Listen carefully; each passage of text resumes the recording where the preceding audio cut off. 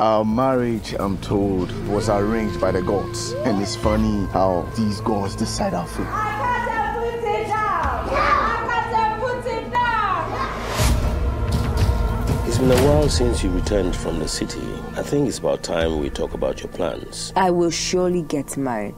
I just haven't thought about it. Why wouldn't you just get married to her and be free? Yes, I would like to tell the both of you that I'm ready to get married. That was what you said about Fatih. Kumada Sharifa. I will die for you, Sharifa. I have purchased five bulls already. Hey, my husband. I'll quickly inform my friends so that uh, we quickly move into marry for you. Surprise, surprise. I found someone that I'm willing to get married to, and the good news is he's from this town. Allah Akbar. She's not one of us at all. And our house will not accept someone who does not respect the laws and, and traditions of her own people. Yariada by Irimumbani. Father!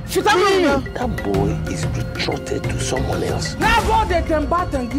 You and your son will not bring shame upon me. Adiza had done everything expected of her. Now that it is time to reciprocate, your son is now flirting with a girl who has no respect for culture. I love you. Shut up! After spending all my money on your education, you can't just do one thing to make me happy. Abba, Baba, Abba, doesn't my happiness matter to you? You were raised a northern girl, and you will marry a northern man.